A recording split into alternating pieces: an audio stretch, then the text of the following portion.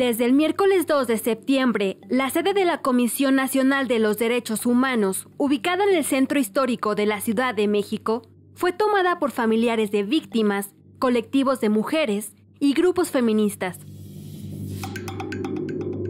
Es la primera vez en la historia de la CNDH que ocurre un hecho de este tipo. A casi un mes, la toma del inmueble continúa.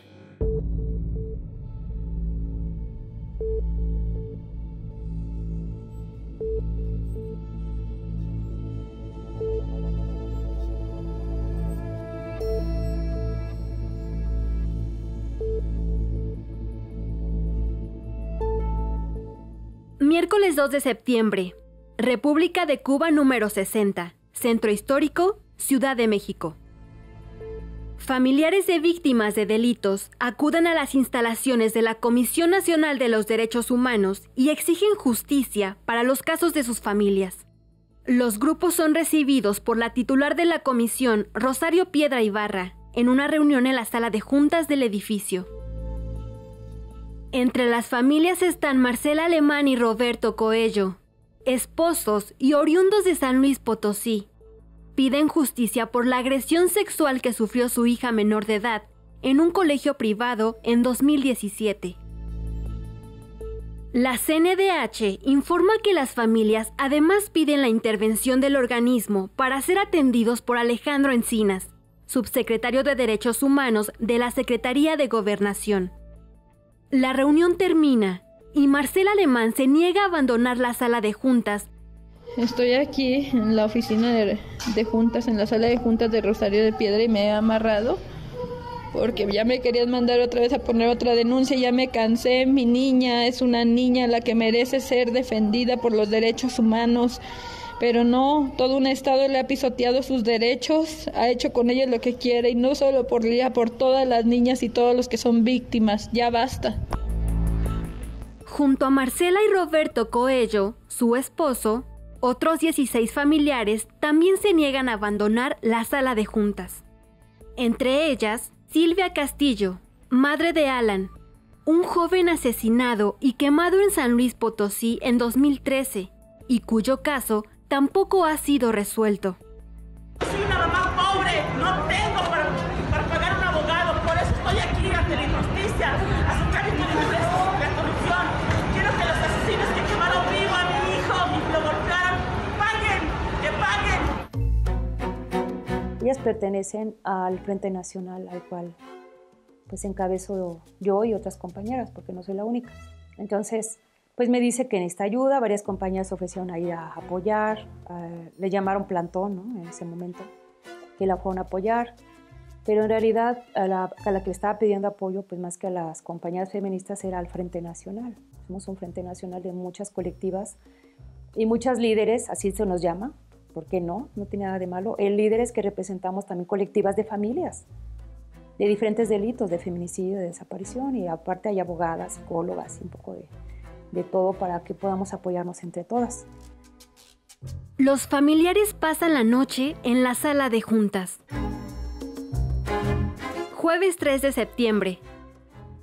Roberto Coello condiciona el levantamiento de su protesta solo si se cumplen las siguientes peticiones. Ser recibidos por los ministros de la Suprema Corte de Justicia de la Nación. Garantizar la detención de los presuntos responsables del delito investigación y castigo a los funcionarios locales que cometieron irregularidades en la investigación del caso de su hija. La comisión hace un llamado a las autoridades federales y locales involucradas en los casos de las tres víctimas de San Luis Potosí para resolver cada uno de los presuntos delitos. En apoyo, llega un grupo de mujeres, en su mayoría encapuchadas, así como integrantes del colectivo 10 de marzo, quienes desde febrero mantenían tomado el lobby de la Comisión Ejecutiva de Atención a Víctimas, en exigencia de apoyos y transparencia de recursos. Ese mismo día, Yesenia Zamudio, madre de María de Jesús Jaime Zamudio, víctima de feminicidio en 2016, convoca a través de sus redes sociales a participar en la toma de la CNDH me mandan el mensaje las compañías de que le iban a ir a apoyar, pero yo decidí, yo, yo, Yesenia, decidí hacer una toma. Yo les dije, pero ¿por qué un plantón? Vamos a tomar las instalaciones. No han hecho su trabajo, no lo saben hacer, no están capacitados, los resultados son mediocres de su trabajo. Rosario Piedra, ¿cuántas recomendaciones ha emitido desde que está ocupando ese, ese cargo? Yesenia Zamudio es madre de María de Jesús Jaime Zamudio, víctima de feminicidio en 2016. En la página de Facebook de la colectiva Ni Una Menos se comparte un comunicado titulado Instalaciones de la CNDH, Territorio Libre. En el mismo comunicado exigen servicios médicos y acceso a medicamentos, entrega de despensas y programas de empleo, subsidios para la alerta por violencia de género en todos los estados, retiro de la campaña cuenta hasta 10, Recomendación de la CNDH reconociendo la gravedad de la violencia de género en el país. Más tarde, Marcela Alemán y Roberto Coello, cuya protesta desató la toma, regresan a San Luis Potosí tras lograr acuerdos con la Secretaría de Gobernación. Silvia Castillo se queda al interior del inmueble e inicia una huelga de hambre.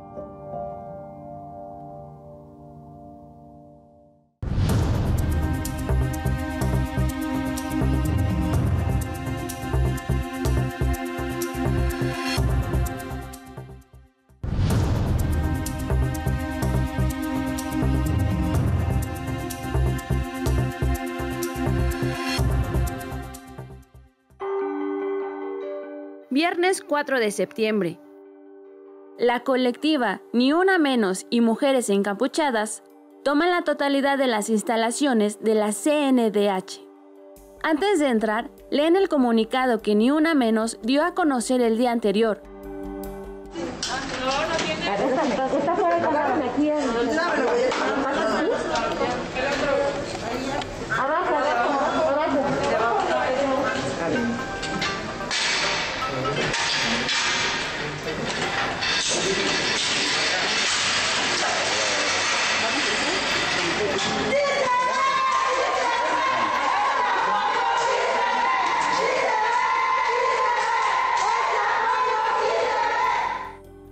Por la tarde, Silvia Castillo abandona el edificio.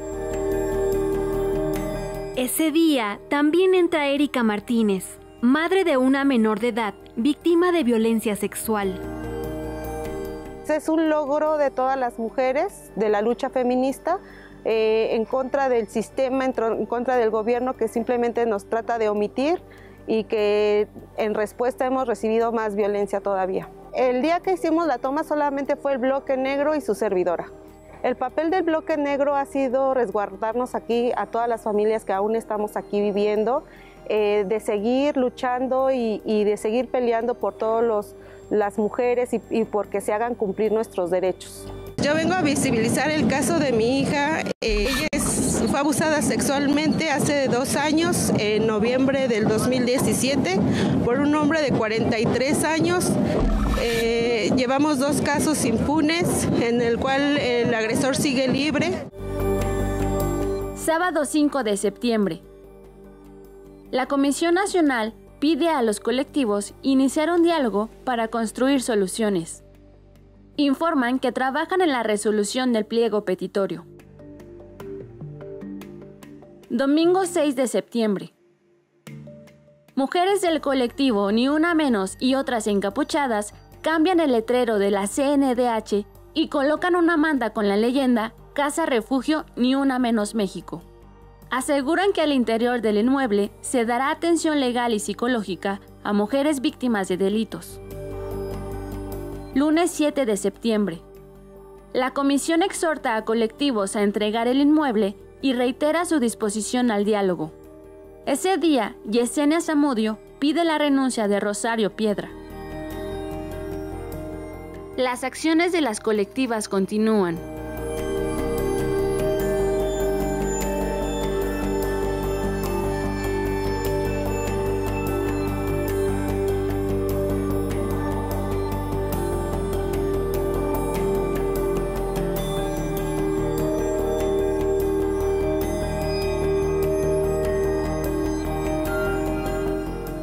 Martes 8 de septiembre. En entrevista radiofónica, la titular de la CNDH expresa su preocupación por los expedientes de las víctimas que se encuentran al interior de la comisión. Ya destruyeron algunos. Ya los destruyeron. Esa es obstrucción de la justicia. Pues si este país, o sea, lo que tenemos es que acabar con eso, no ocultar las pruebas y al parecer lo que quieren es desaparecer pruebas. Eso sí, eso es algo muy, muy, muy perverso. Nosotros desde el primer día que llegamos aquí estuvimos abiertas a que se llevaran así tanto como los documentos como el, el cómputo. En sus redes sociales, las colectivas aseguran que entregaron los documentos a personal de la comisión. Miércoles 9 de septiembre. En el Palacio de Cobián, Olga Sánchez Cordero, secretaria de Gobernación, se reúne con las mujeres que mantienen ocupada la CNDH. Jueves 10 de septiembre. En conferencia matutina, Olga Sánchez Cordero expone los resultados de la reunión con las mujeres de la colectiva Ni Una Menos. Yo creo que si ya se está atendiendo su reclamo y se va a atender de manera profesional y adecuada, pues yo creo que ya no tendrían ellas por qué estar dentro de las instalaciones si sus legítimas eh, preocupaciones y reclamos están siendo debidamente y puntualmente atendidos desde la Secretaría de Gobernación. Ese mismo día, en diferentes estados, se realizan manifestaciones en apoyo a la toma.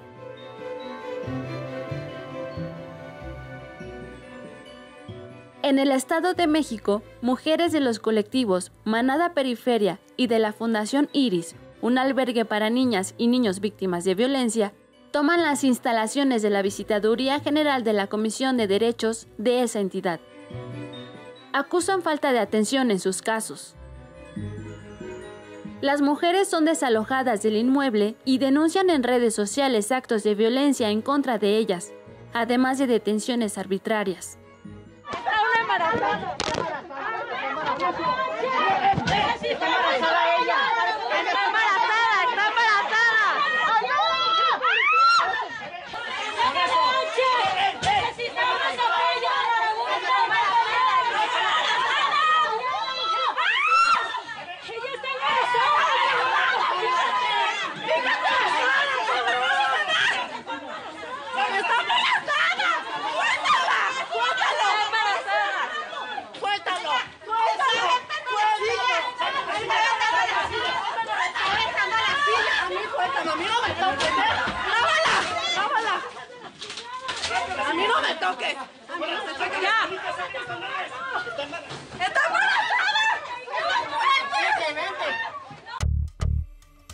Viernes 11 de septiembre. La Fiscalía General de Justicia del Estado de México asegura que el operativo se llevó a cabo en apego a derecho. Considero de suma importancia informar sobre los hechos suscitados en las comisiones estatales de Derechos Humanos del Estado de México y de Puebla, así como en las oficinas regionales de la CNDH en Morelia, en Villahermosa y en Veracruz. Esto constituye un llamado de atención. Es fundamental asegurar y fortalecer las vías del diálogo y garantizar el derecho a la protesta social. De ninguna manera y bajo ninguna circunstancia podemos aceptar el uso de la fuerza en, en contra de ninguna manifestación de víctimas del delito. Las manifestaciones de colectivas de mujeres también se registraron en Puebla, Guadalajara y Veracruz. Lunes 14 de septiembre. En la Ciudad de México, el colectivo Ni Una Menos efectúa el movimiento antigrita. Nosotras hemos respondido desde el arte, desde el amor, y este amor es el que nos hizo tomar este espacio.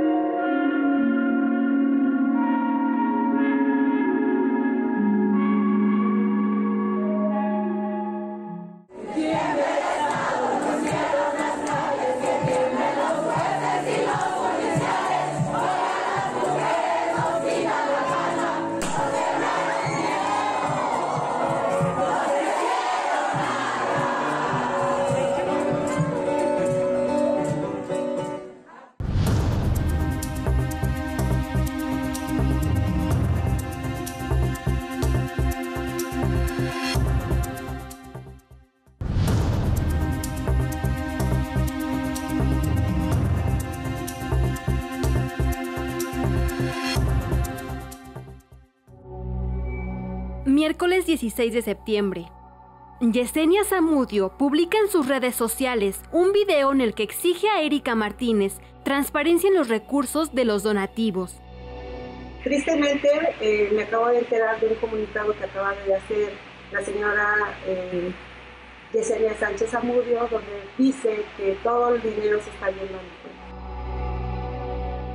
mi La cuenta de Facebook Ocupa Bloque Negro, creada y activa en redes desde el 12 de septiembre, publica un video en el que se deslinda de Yesenia Zamudio. Por este medio comunicamos que el bloque negro no es una célula de ni una menos. No pertenecemos a ninguna colectiva ni accionamos por una paga. Jueves 17 de septiembre. El colectivo Ni Una Menos se reúne con la secretaria de Gobernación, Olga Sánchez Cordero. Al encuentro también asiste Rosario Piedra Ibarra, Decirles que lamentamos que tengan que llegar hasta estos espacios a falta de una respuesta adecuada por algunas de las instancias de, de, gobierno, pero lo que sí podemos hacer, lo que estamos aquí para ayudarlas, es para acompañarlas, para eh, destrabar algunas cuestiones de estas instancias de procuración y impartición de justicia que se les empiecen a complicar. Viernes 18 de septiembre. En la cuenta Ocupa Bloque Negro se anuncia la entrega de un pliego petitorio. En el comunicado piden como primer punto inmunidad para todas las compañeras del Bloque Negro. Yesenia Zamudio deja la toma de la CNDH la comisión informa del inicio formal del desahogo del pliego presentado por las colectivas de Ni Una Menos y reconoce su lucha. Sábado 19 de septiembre. La comisión responde al pliego petitorio presentado por el Bloque Negro. Lunes 28 de septiembre. En conferencia de prensa, Claudia Sheinbaum Pardo, jefa de gobierno de la Ciudad de México, acusa a María Beatriz Gasca, vicepresidenta de Responsabilidad Social y Recursos Humanos de Gin Group, de financiar la ocupación de la CNDH. El nombre de esta persona es María Beatriz Gasca Acevedo. El 12 de septiembre eh, se le vio entregando, eh, todo esto está en redes sociales, eh, se le vio entregando víveres desde un auto de lujo a Cuba 60 el 14 de septiembre fue una de las oradoras principales en lo que se llamó el Antigrita. Y eh, esto está inclusive en las propias redes sociales eh, de ella. Eh, ella es quien está ayudando a poner los cuadros intervenidos en subasta. Desde mayo de 2018 se desempeña como vicepresidenta de Recursos Humanos de Yin Group, empresa especializada en administración de outsourcings y una de las principales empresas factureras que ha estado denunciada por la Secretaría de Hacienda, inclusive por el Instituto Mexicano del Seguro Social. Es considerada, así viene en las propias redes sociales, como el brazo derecho del presidente del grupo, Raúl Beiruti Sánchez.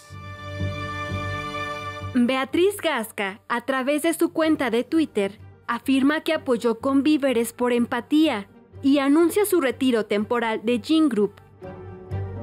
Por su parte, la empresa se deslinda de las actividades políticas y sociales de Beatriz Gasca y la separa de su cargo. Las colectivas también se pronunciaron. Aparte culpa a, una mujer que es esa mujer lo único que ha hecho es ser sorora. Mejor esta señora Beatriz nos llevó tacos de canasta, sí nos llevó un poco de ropa y no nos pidió nada a cambio. Y aparte ella sí nos ve a los ojos. No hay ninguna financiación, nosotros hemos tenido que salir a las 4 de la mañana a la central de abastos para que nos donen alguno de los alimentos, que todo lo que con lo que nos mantenemos y que seguimos aquí en pie de lucha es con todo lo que la gente nos ha venido a donar y que les agradecemos. Paulina Telles, titular de la Unidad de Apoyo al Sistema de Justicia de la Secretaría de Gobernación, promete una reunión con la colectiva Ni Una Menos el próximo 8 de octubre para trabajar en su pliego petitorio. El posicionamiento oficial de la Comisión Nacional de los Derechos Humanos fue expresado a través de comunicados de prensa. La agrupación autonombrada Ocupa Bloque Negro y Erika Martínez permanecen en las instalaciones. Mediante redes sociales, informan de actividades culturales y talleres abiertos al público efectuados al interior del inmueble. Yesenia Zamudio aseguró que no regresará a República de Cuba número 60 y que continuará su lucha con el Frente Nacional Ni Una Menos. A 30 días de la toma de la Comisión Nacional de los Derechos Humanos, no se vislumbra una salida.